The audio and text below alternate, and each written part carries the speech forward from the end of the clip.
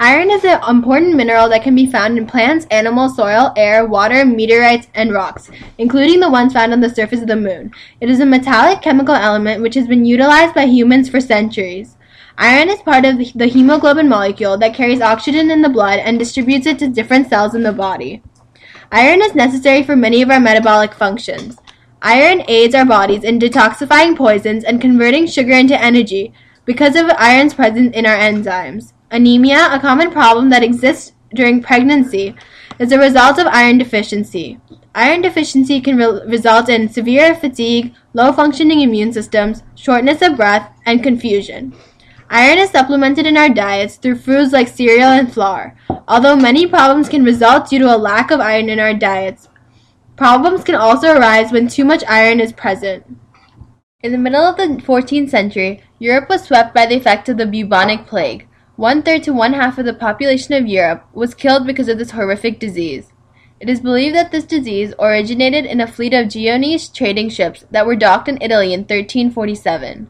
As members of the crew started to die because of contact with the disease, the looters who came to rob the sinking ships also made contact with the plague.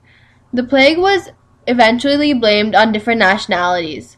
First, the Jewish people were blamed because they seemed to escape the effects of this disease. However, many scientists now believe that this may have been a result of their annual Passover ritual of removing grain from their homes, thereby removing exposure to rats that carried the plague. However, the real mystery that surrounded the plague was how some people were seemed to be affected by it, while some people survived the, the, the attack. New research indicates that the amount of iron in a given population can indicate how the population how vulnerable the populations were to the plague. Dealing specifically with hemochromatosis, the topic of this chapter, research has indicated that it predates the plague and originated with the Vikings as they colonized the European coastline. When the plague began, people who had hemochromatosis were especially resistant to this infection. If having this mutation aided the survival of certain people throughout the various outbreaks of the bubonic plague, then it may be that carriers of this gene survived and reproduced, thus bringing, bringing this mutation into the population much more frequently. Hemochromatosis disrupts the way that the body metabolizes iron. Iron is a trace element for the human body, meaning that it is needed only in small doses. A person that is affected by hemochromatosis continues to absorb iron unincubated because the body thinks that it doesn't have enough iron. Thus, a buildup of excess iron occurs in the body. Eventually, this excess iron is deposited into different parts of the human body, which leads to, leads to damage of the joints, vital organs, and bo- overall body chemistry. Some of the symptoms of hemochromatosis are liver failure, heart failure, arthritis, infertility, and even cancer. As iron is distributed throughout the body, one type of cell seems to receive even less iron than it usually has the macrophages. Macrophages are a type of white blood cell that circulate our immune system, looking for any pro- problems or concerns for the body. Iron deficiency iron deficient macrophages are seen to be much better at combating bacteria because of the limited availability of iron. Hemochromatosis is caused by a genetic mutation. Thus, it is inherited, and the gene for it is very common in the populations of Western Europe and those whose ancestors are from the areas around Western Europe. The mutation remains in our gene pool because the mutation increases our biotic potential in many cases, meaning that it will increase the chance that we'll reproduce and thus is beneficial to us as a species. From the effects of the bubonic plague came out two methods for the treatment of iron-related diseases. The first was iron dosing. Iron dosing is the act of putting more iron into a person's body through methods such as injections or iron enha- enhanced formulas. Iron dosing is primarily used to treat those suffering from an iron deficiency, such as anemia. On the other hand, bloodletting is a treatment used on people suffering from hemochromatosis, or an excess of iron in their bodies. Regular bleeding can reduce the amount of iron in the body so that the iron buildup is not so damaging to the body's vital organs. Other diseases can also be treated using bloodletting.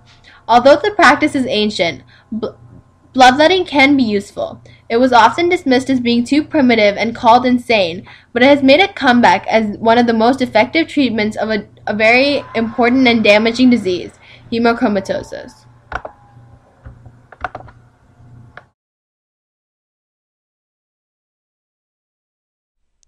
Apoptosis is the term used to describe the normal death of the cell in living organisms.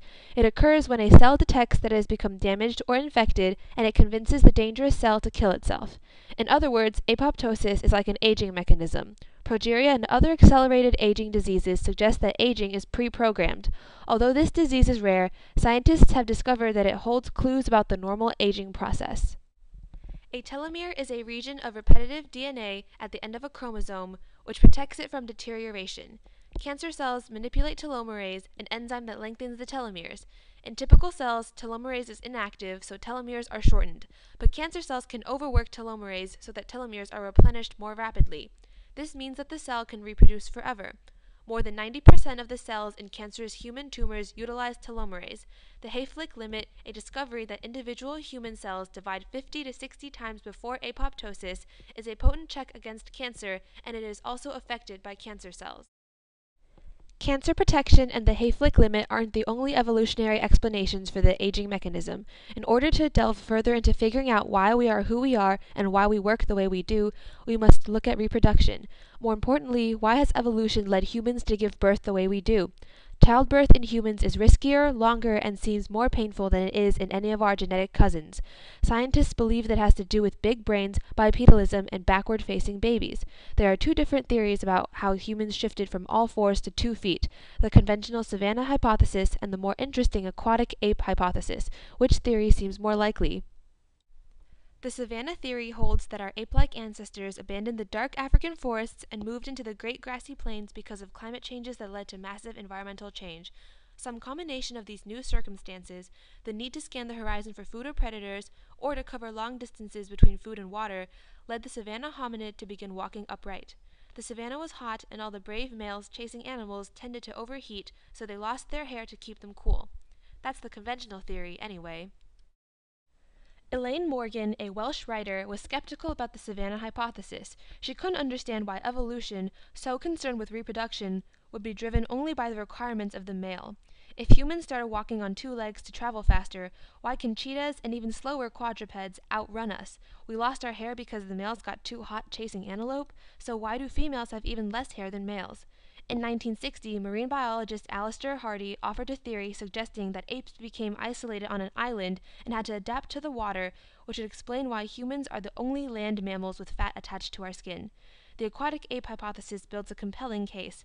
It would explain many things, like how the ability to survive on land and in water has tremendous benefits against predators, how walking upright helps venturing into deeper water, how we may have lost our fur to be more streamlined in water, while we have downward facing nostrils to aid in diving, and how extra fat in babies helps keep them afloat.